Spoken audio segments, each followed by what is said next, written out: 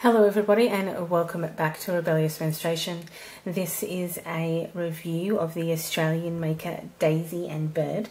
Um, I have these um, ones that you see, these six, and um, I've had quite a few of them quite a while. Um, you would have seen these two in the um, on Instagram quite a bit. Um, I do generally tend to wear the Totoro and Disney Key one quite a bit as well, um, and the Star Wars Overnighter, of course. Um, I have actually destashed a few Daisy and Bird ones because they are actually really, really well made. As you can see, the prints are really, really cute.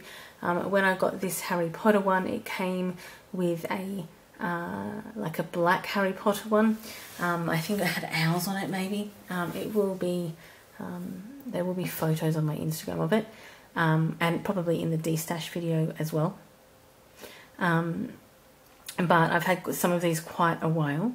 Um, now we'll just go over them first. Um, this Star Wars one is 15 inches um, and it's got a 3 inch snap. the rest of them have a 2.5 inch snap. these two here are 8.25 this one here is 9.25 and these two here are 9 and 10. Well, mm, these, these two here are 10 inches. The Totoro and the Disney Key. They, um, so this is cotton lycra, the rest are cotton knit and they are um, have got bamboo fleece and cotton cores and Windpro on the back um, the main difference is that this heavy has more um, bamboo fleece in the core than the um, moderates and the liners. So um, all these all have the same amount of core in them. Um, the reason why you don't see this one very much is because I kind of had wet hands and wasn't patient one day and kind of ripped this um, as you can see it's actually still attached. Um, so I haven't actually lost the thing. I might just need to get it um, repaired or re-snapped at some point um, so I can use it. But it was a really really cute print um, with a really really cute slogan on it if you can read that there. Um, so that's why I've kept it um, so I can get it repaired. This of course is a Harry Potter with Hermione, Ron and Harry and Hedwig and a golden snitch. Um, this one here is there's no such thing as a Gruffalo. Um, this one here tends to stain always in this bit here. For some reason, I don't know why. Um, it is blue, that's why it stains, but it always seems to be in the same spot. So I've had to kind of quite frequently stain treat this pad, but it is actually one of my favorites because the print is so adorable. Um, again, I'm a really big Totoro fan, um, and I do have a giant Totoro um, plush or plushie. So um, when I came across this bad pad, I couldn't um, resist it. Um, this one here, she has the two stars on the wing here. Um, so um, as you can see, um, these ones have the her tag on them and these two do not have her tag on them. They are very exceptionally well sewn. They have not in any way, um, as you can see, come apart in um, in what they've done. Um, so they have, they're not coming apart, they're not being destructive. It's actually been really, really good, especially because I do tend to wear this one and um, at least these two quite a bit, and they have not really faded or um, the stitching hasn't come out, or which is all the kind of things that you look for in um, your pads is that the lack of um, disintegration. This one here, as you can see, is a one starred, and this is what her tag looks like. Um, this one here, as you can see, is a moderate with two stars on the wing. Um, this is a Totoro, um, and again has This one actually has D and B sewn into the wing on this side. Maybe it's easy to see from this side. So it has D and B and then has the two stars on this wing. Okay, so this one here has two stars even though I wear it as a liner.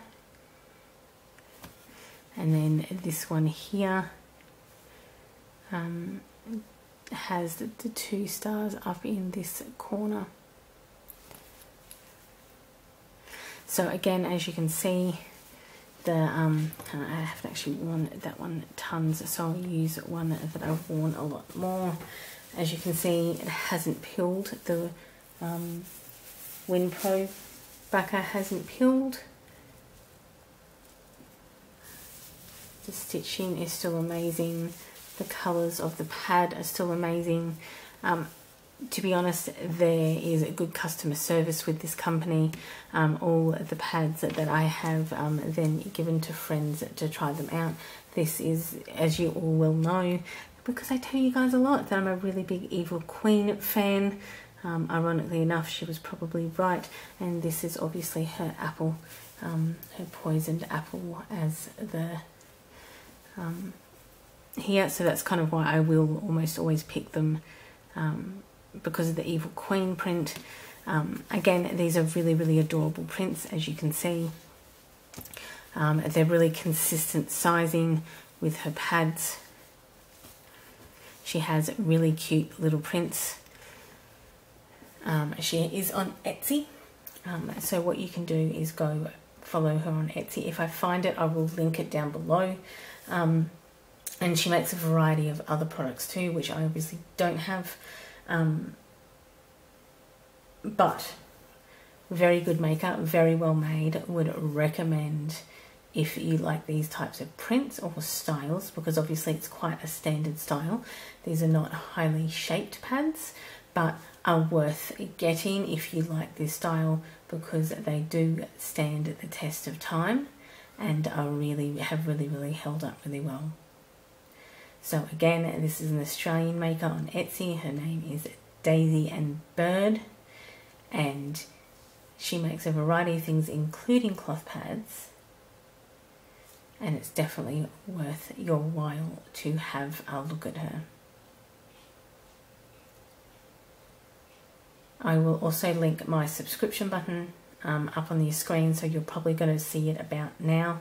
Um, hit that one if you like.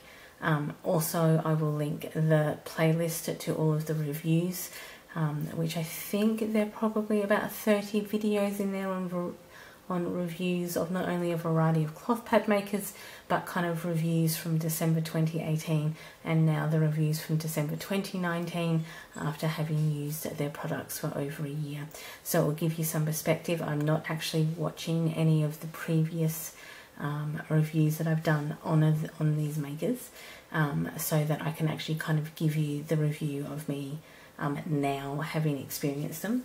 Um, there are only going to be three makers that I'm not reviewing, um, and that will be um, Bella Luna Inspirations, Sunshine Bums, and A Splendid Story. Um, and that's only because I've literally recently actually done their reviews. Um, and so nothing much would have changed in between um, I think the oldest one in that group is Bella Luna Inspirations from July, and the other two are from October and November. So there's just I don't see any point in reviewing them so close together.